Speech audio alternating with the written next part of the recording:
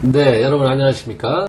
어, 오늘은 우리가 어, 유산 아니면 뭐 낙태, 뭐 인공 중절 어, 이런 후에 우리 몸의 조리에 대해서 한번 같이 이야기를 나눠볼까 합니다.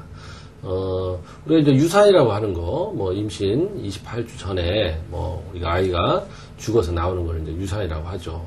그 다음에 이제 우리가 어, 인공 중절, 뭐, 뭐 피치 모터 상황, 물론 이제 법으로는 엄격히 이제 금지되어 있고, 어, 거기에 꼭 인공줄을 해야만 되는 경우에만 시행이 돼야 됩니다. 어, 그런 경우에 우리가 조리를 어떻게 해야 되냐, 이런 것에 대한 고민을 해봐야 됩니다. 우리 동의보감에 보면, 동의보감에 어떤 비유가 있냐면, 우리가 이제 만삭이 돼서 시간이 다 되어서 나오는 그런 출산을 어, 고들정자, 바를정자 하고 나을산자에서 정산이라고 얘기를 했습니다.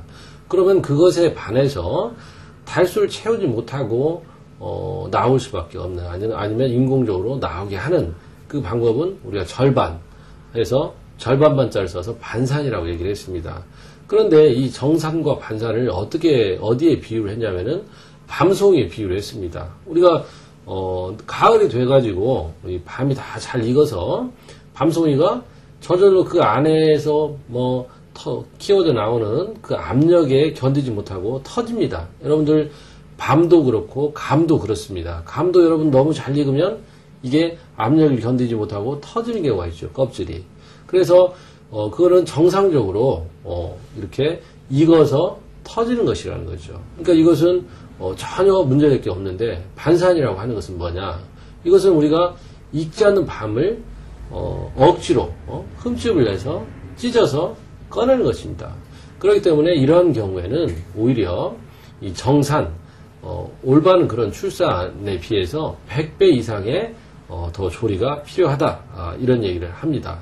그렇기 때문에 우리가 우리 몸에서 어, 그 어떤 임신의 그런 사이클에 맞게 우리 몸에서도 준비를 합니다.